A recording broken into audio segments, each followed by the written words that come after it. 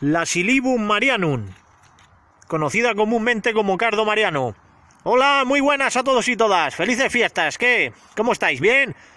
Venga, pues espero que estéis todos sanos y vamos a continuar aquí enseñando algún tipo de plantas que pueden ser interesantes. Unas hepatoprotectoras, como puede ser el cardo mariano, otras que pueden ser tóxicas o mortales, que ya veremos más adelante, que han salido por aquí y ahora le vamos a echar un vistazo para poder diferenciarlas y de esta manera poder aprender un poquito más sobre estas plantas y sobre todo eh, saber eh, y ponerlo expuesto al conocimiento de la afición para que todo aquel que vaya al campo pueda diferenciar y aprovechar cuál es la planta buena que puede de la cual puede sacar sus beneficios y cuál es la planta que debe dejar a un lado para no ser fastidiado o no ser intoxicado, ya que hay plantas que no son buenas. Y ahora después las vamos a ver, vamos a ver alguna.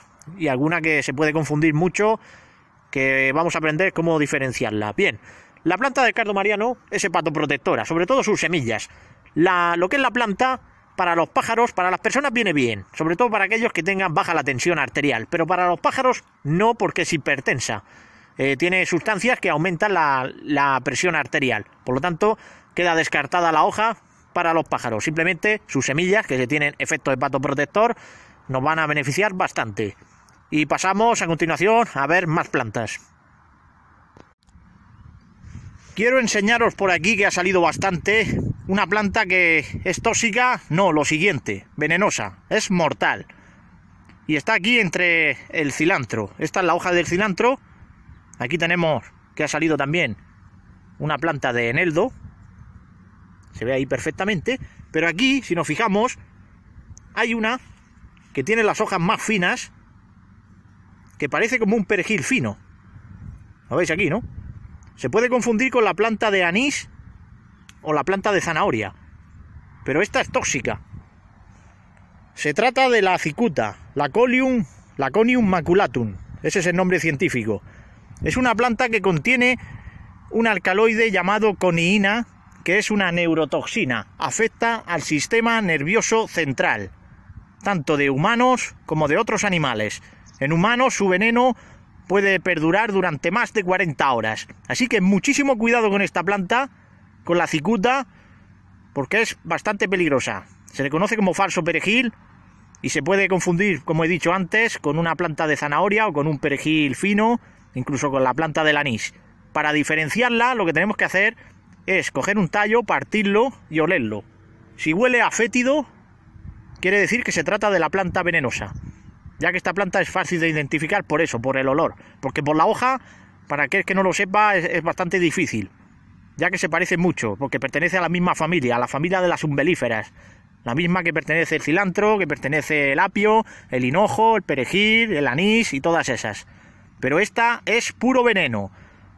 Recordadlo, tened mucho cuidado cuando la veáis, hacer la prueba oliéndola, el olor es desagradable y con eso eh, simplemente eh, evitaréis muchos problemas. Por supuesto a los pájaros ni echársela. Y a las personas, pues mejor ni tocarla. Aunque tocándola no pasa nada, pero el problema es cuando la ingieres. Así que muchísimo cuidado con esta planta porque no es tóxica, es mortal. Afecta al sistema nervioso central, es neurotóxica, eh, la coniina es muy peligrosa cuando se utiliza en el interior de un organismo animal o humano. Así que cuidado, porque por ejemplo en pollos esta planta cuando la comen produce parálisis, eh, parálisis general, porque al llevar una neurotoxina afecta al cerebro y eh, el pollo queda cao. Y con los pájaros pues igual. Y los humanos nos puede pasar lo mismo. Por lo tanto, llevar muchísimo cuidado. Hay muchas clases de umbelíferas, pero esta se esconde aquí entre las buenas, entre las plantas de, por ejemplo, del cilantro, que es esta. Y aquí, a pesar de que parece una planta de zanahoria, es muy, muy peligrosa. Es mortal. Y bien, después de haber visto una planta que es puro veneno, vamos a ver otra que es puro amor. Y amor porque precisamente esta planta, su nombre común, es amor de hortelano. Su nombre científico es la Gallium, en la cual puede haber varias subespecies. Puede estar la Gallium aparine y luego la Gallium verum, que se divide eh, en otras subespecies, como he dicho antes, pero que todas juntas pertenecen a la misma familia, la familia de las rubiáceas.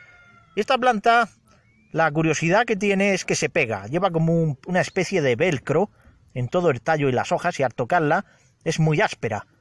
¿Y qué beneficio tiene esta planta? Pues veréis. En ornitología, sea ornitología general o eh, puede ser ornitología convencional o deportiva, da igual.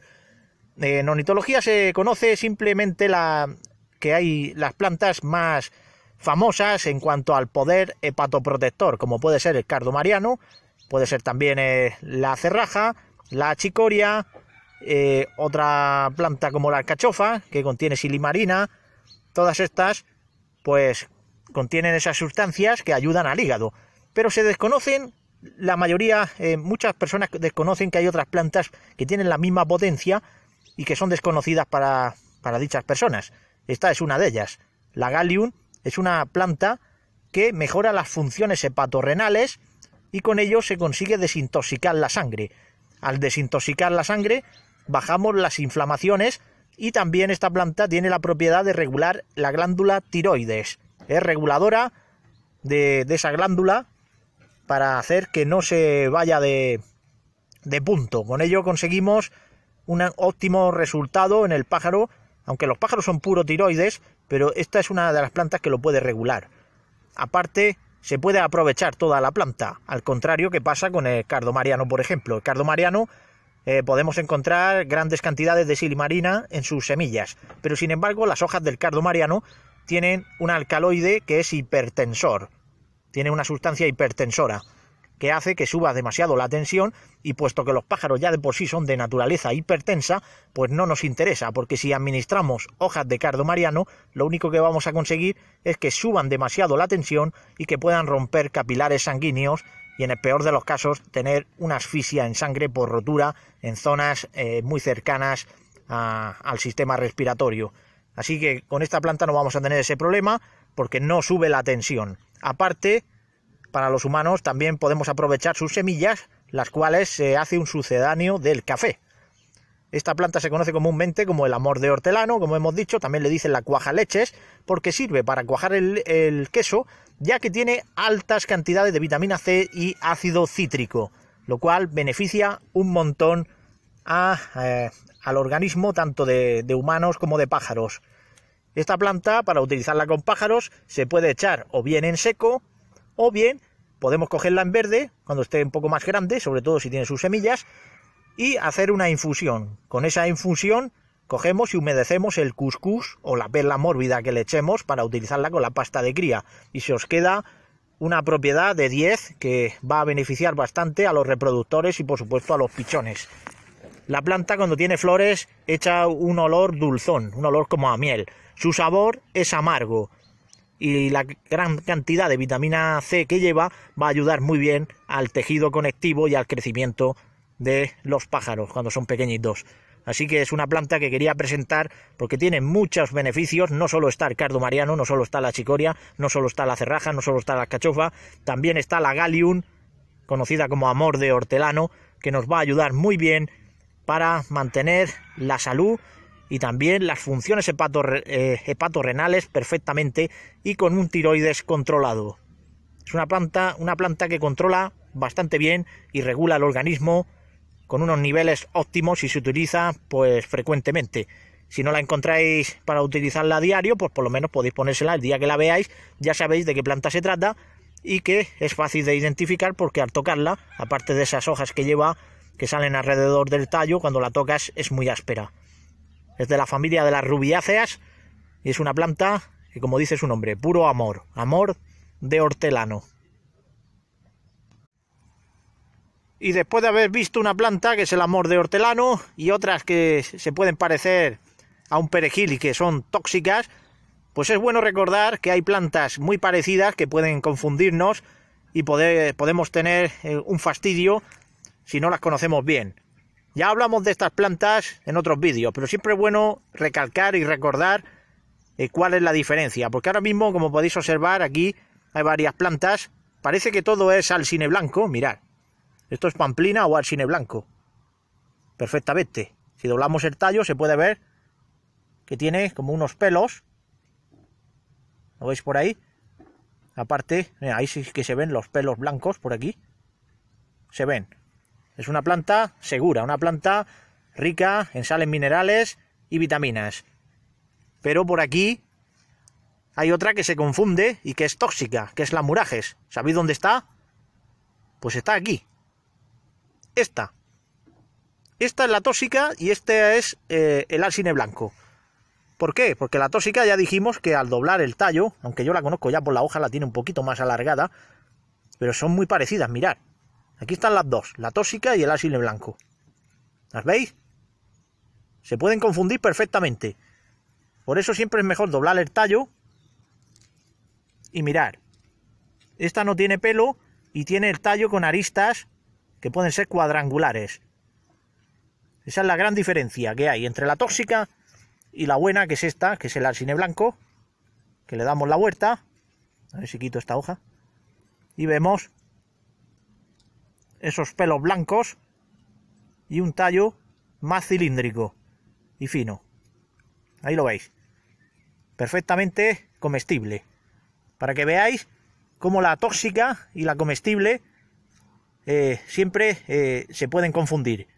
Por eso hay que mirar los tallos y saber de estas características. Muchos lo sabéis ya porque lo he explicado en otros vídeos, pero siempre es bueno recordarlo. Y ahora voy a coger un poquito de alcine cuando acabe el vídeo para ponérselo a los pájaros. Aquí también ha salido ortiga, que está ahí. Esto es Kenopodium, que estas se parecen también un poco, pero como son las dos beneficiosas, pues no pasa nada. Simplemente que estas dos, la buena y la tóxica, pues pueden llegar a confusión a la gente y por ello es bueno saber diferenciarlas a través de sus tallos. Una planta muy verde de acelga que es rica en betacaroteno y también en betaína. La betaína también ayuda al hígado. Estas hojas junto con la navina para los cardenalitos son prácticamente la clave del factor rojo. No solo de otras hierbas, pero las plantas de acelga son ricas en betacaroteno, muy asimilable por los pájaros, y la navina contiene también unos elementos azufrados que combinan muy bien con los betacarotenos y con la eh, también con la función reguladora del hígado, en este caso la betaína, eh, hacen muy buena conjugación. El betacaroteno, los compuestos azufrados, la betaína, tienen unas funciones que hacen que el pájaro coja eh, en su estado general, en todo en su conjunto, coja un color rojo bastante llamativo. Por eso mucha gente ve mis pájaros muy rojos y piensan que le echo cantasantina. No, ellos comen hierbas silvestres y entre ellas también comen alguna verdura, como es la acelga, que le pongo cuando tengo por aquí y que ellos pues devoran bastante bien. Aparte la alfalfa, que también da bastante color, pues a los cardenalitos les viene de perlas. Y para los canarios de factor rojo, que yo no tengo canario de factor rojo, pero que tenga, pues todas estas verduras les viene también, pues igual que si se utilizaran para los cardenalitos. Así que siempre es bueno ver el brillo de estas plantas, que es todo una fuente de salud y que contienen bastantes vitaminas que ayudan al sistema inmunológico a estar sano y así con ello prevenimos muchas enfermedades. Esta es otra planta, en este caso familia de las crucíferas. Se nota claramente. Está llena de vainas, de esas silicuas tan preciadas por los fringílidos. Se trata de la mostacilla, el nombre científico es la Sisimbrium irio y pertenece a la familia de las crucíferas, obviamente. Solo hay que ver todas esas vainas que tiene alargadas, de la cual los fringílidos van a disfrutar pues de estos placeres que da la madre tierra. Es una planta que tiene pues unas hojas muy parecidas también, como si fuera a, una cerraja menor, solo que más grande. Mirar, aquí está la flor de la cerraja menor. Esa es la flor. Y está en la flor de la mostacilla. Muchísima más pequeño. Le da un aire a la lepidium que enseñamos en el vídeo anterior. Solo que esta está llena de vainas largas. Aparte que si nos fijamos por aquí y cogemos una hoja de la cerraja menor, podemos ver que es bastante más fina en comparación con la hoja de la mostacilla. Aunque se parecen bastante. ¿Lo veis ahí, no? La mostacilla y la cerraja menor. Bien, simplemente esta característica, aunque luego en las flores, pues obviamente son muy diferentes y también en la forma de eh, sus semillas, ya que la cerraja menor echa semillas con esos vilanos que se los lleva el viento, mientras que esta los echa en forma de silicuas, que son unos pequeños, unos pequeños granos, como si fuera pues una semilla de, rábano o de navina, o de jaramago, también, mejor dicho. Y nada, otra más para la colección y para alimentar a los pájaros perfectamente con ella, la mostacilla. Pues aquí le he cogido un poco de alcine blanco, un poco de cerraja, alguna graminácea, que esto es una triguera, ya que la triguera tierna también se la comen. Y aquí están, disfrutando de este menú vegetal, ahora ya por la tarde, falta poco para anochecer. Y siempre es bueno pegarle aquí una, una merienda verde para irse bien vitaminados y de esta manera poder pasar el invierno con vitaminas naturales. Así el sistema inmunológico siempre estará eh, en mejor posición o mejor posicionado para resetear junto con el frío, ya que resetean y cambian un poco la configuración de, de sus propios organismos para prepararse en la siguiente campaña de cría. Y nada más. Un placer, como siempre, enseñar un poco de historia vegetal y a disfrutar, a cuidarse y hasta el próximo vídeo.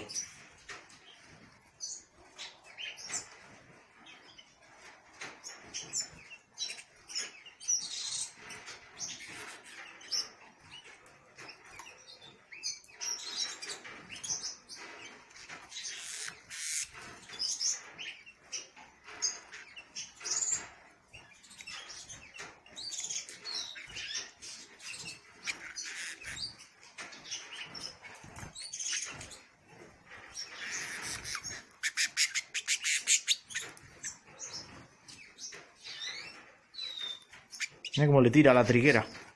El blanco.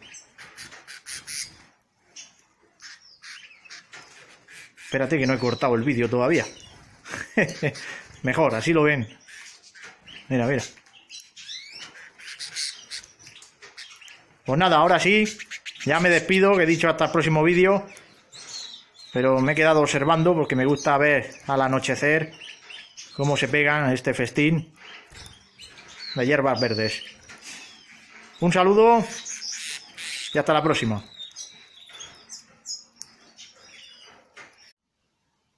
Y para todos aquellos que se hayan quedado hasta el final del vídeo, solo decirle unas pocas palabras.